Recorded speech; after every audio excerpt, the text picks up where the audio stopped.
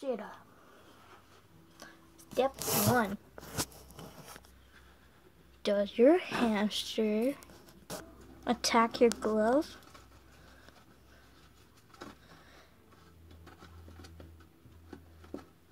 Well, here's what I do.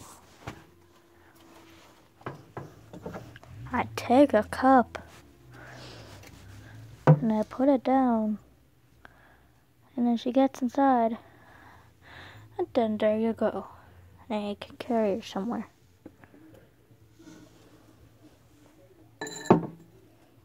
Does your hamster not get in the cup? Simply take a treat, put it in the bottom, and then hopefully they will go get the treat. Success!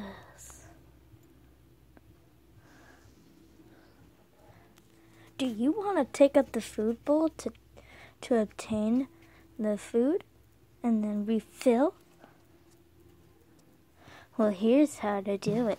Take the glove, put it in the corner, and then she'll be distracted. Yay! And then you grab the food cup. Look at her attack. Oh, she is such a nice hamster. Do you want to play with your hamster? Well, take the glove and double it up, and then stick your hand in it and then grab her. You will feel the bites as a faint little bite. It'll only hurt a little. Will your hamster not proceed with you? Take your glove, put it on, only put your fingers only right there.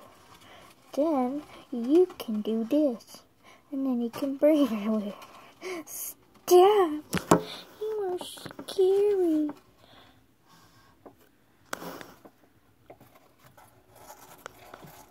This one is playful. I'm just kidding. No, she's not.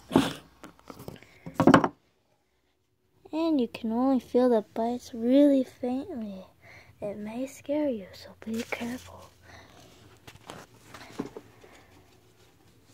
Do you want to play with your hamster, such as in the bathtub to tame her? Well, take the freaking cup and do it. And that is how to play with your hamster when she's a little butthole.